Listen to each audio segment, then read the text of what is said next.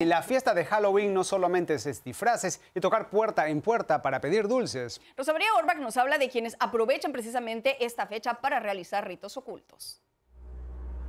Hay quienes aseguran que en Halloween se lleva a cabo ritos satánicos. Se dice que dentro de la celebración hay una parte oculta en donde el satanismo y el ocultismo se manifiestan en esta fecha. Es una tradición que se retoma de la cultura celta.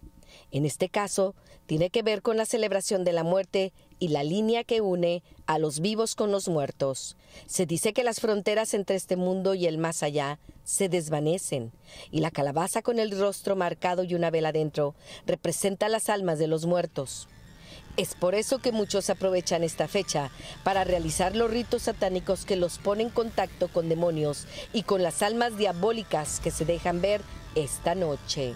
La creencia es que en el día de Halloween los muertos cobran venganza contra los que les han hecho algún daño. Por esa razón, la gente acostumbra a disfrazarse y así no ser reconocidos por los muertos.